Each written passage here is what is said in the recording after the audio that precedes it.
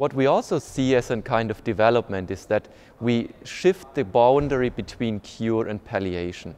Traditionally, patients having metastatic disease have been considered as palliative and the value of aggressive local radical treatment has not been there.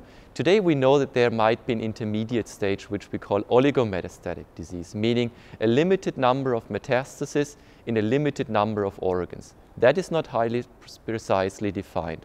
In these patients we can with SBRT, surgery and other techniques also offer a curative approach to our patients. And what we see is long-term overall survival even in these so-called metastatic oligometastatic patients, long-term overall survival of 25 to 50% on average.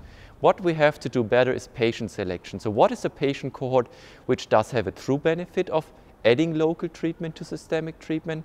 And what might be patient cohorts where no benefit can be expected?